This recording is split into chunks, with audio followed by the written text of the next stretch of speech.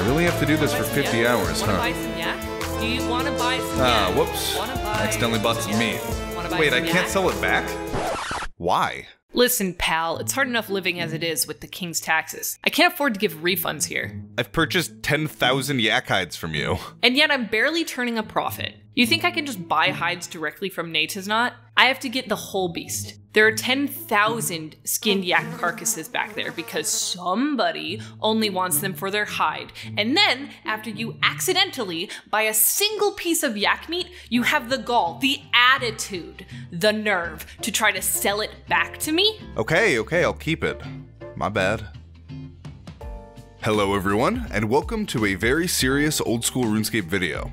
After recently crafting 25,000 pairs of yak hide pants on my area locked Ultimate Iron Man, I feel like yaks as a species have done a non-negligible amount of damage to my mental health. Which leads me here to my solution. I will be taking revenge on the yaks by cooking and eating one in real life. This is a yak steak. While yaks are normally found in the tundra-like climate of the Tibetan Plateau, I was able to find a small store nearby in an otherwise ugly gray wasteland. That's right, I went to New Jersey. There I purchased one yak ribeye. The store's website describes yak as juicier than bison, more tender than beef, and lacking a gamey flavor. And today, we will be putting that to the test, in a video that's admittedly just an excuse for me to feast on the flesh of my enemies. Now, if I wanted to be traditional about this, I would take the steak as is and hold it over a fire for approximately 2.4 seconds.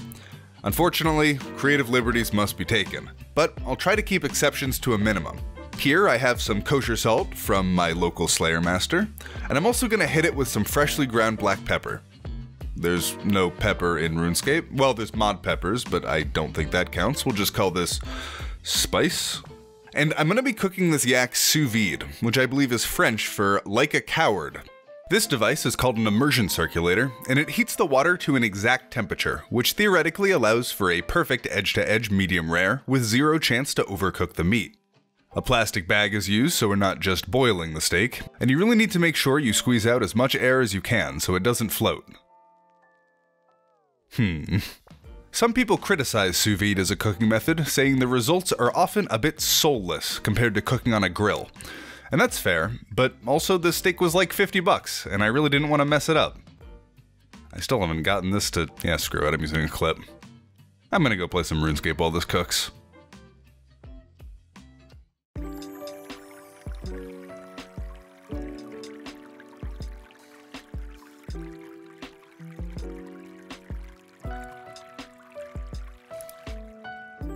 Here we are 90 minutes later, and oh my god, I've destroyed this piece of meat. I'm kidding, of course. This is just what a sous vide steak looks like before it's finished. As much as I'd like to sabotage the yak, for the sake of integrity, I feel the need to give it at least a sporting chance before I declare the animal worthless. Anyway, right now the steak is gray and ugly, and we're gonna fix that with some good old cast iron. I know it doesn't look that good right now, but watch this. Yeah, the walk-off doesn't really work this time, does it?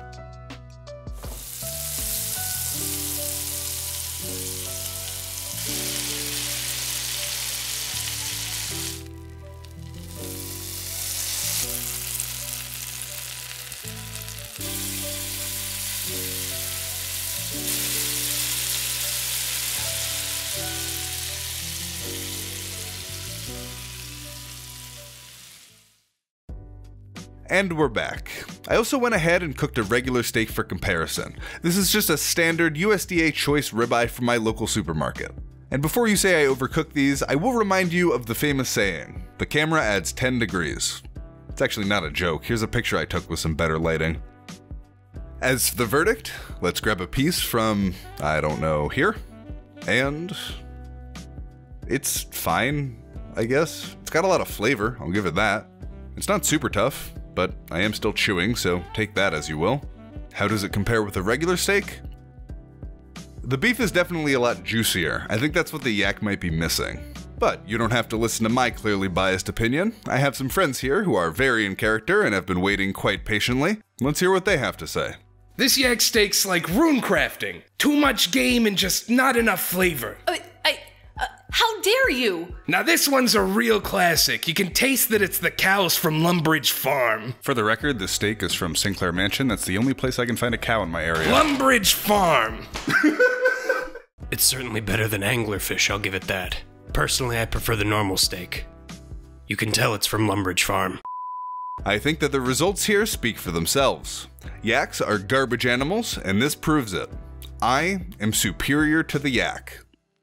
Wait, no, I, I didn't prove that. I proved that beef is superior to yak. I'm not. Wait, if, if I didn't like the yak meat, then I'm not going to eat it again. Isn't that what the yak wants? Did the yaks just beat me again?